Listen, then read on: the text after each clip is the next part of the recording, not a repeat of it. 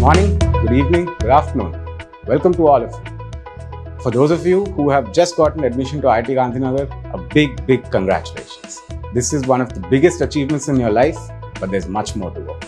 I'm Professor Sushobhan Sen. I am a professor in civil engineering, an assistant professor in civil engineering, and I am going to be one of the coordinators for this year's foundation program. First of all, let me tell you what is the foundation program.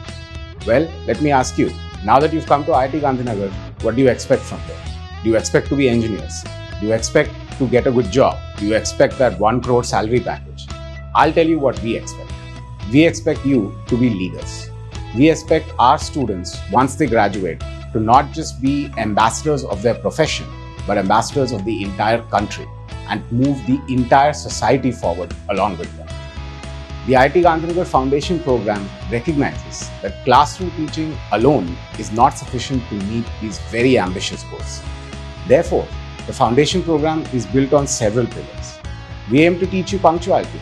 We aim to teach you teamwork. We aim to teach you leadership. We aim to teach you physical fitness.